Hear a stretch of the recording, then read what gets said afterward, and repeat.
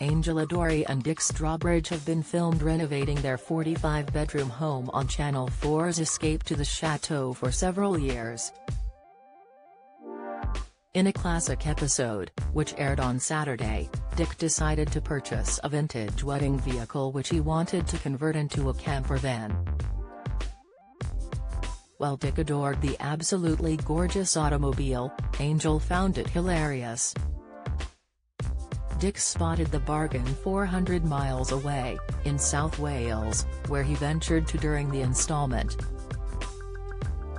A transport manager called Neve was selling the cream-colored wedding bus which Dick had long admired and wanted for his family.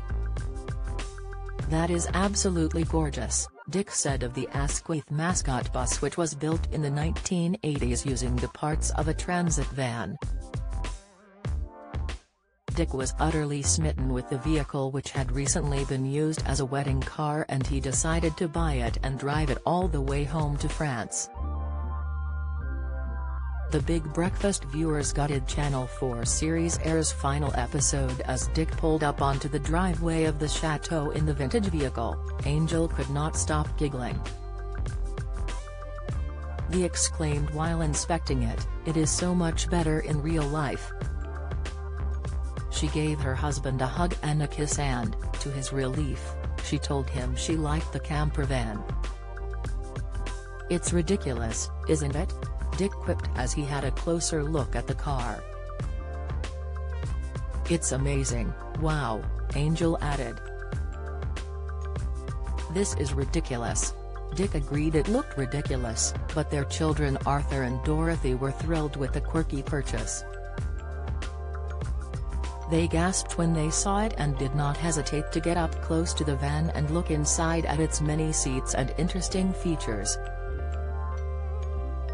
I love it, Arthur gushed and his little sister said she also adored the car. The vehicle, which was used as a wedding bus, needed some work done on the inside before it could be transformed into a family camper van. Escape to the Chateau's Angel hits out at Dick's punishing demands, latest Escape to the Chateau's Angel rules out addition to home, update Escape to the Chateau's Dick Strawbridge makes stunning tile feature, insight, Arthur soon pulled down the fake wedding flowers which were used as decoration inside the vehicle. However, the camper van conversion would have to wait as Angel had to continue prepping for her parents' 50th wedding anniversary celebrations. She was throwing them a huge party at the chateau to mark the romantic milestone. The party would give her parents the chance to enjoy the chateau with their loved ones in the height of the French summertime. Her parents eloped half a century ago and never celebrated with anyone to mark the event.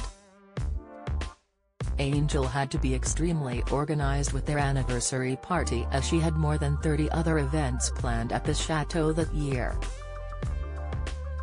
The bash ended up being a huge success and Angel's parents were flattered by all the friends and family members who visited France for the occasion.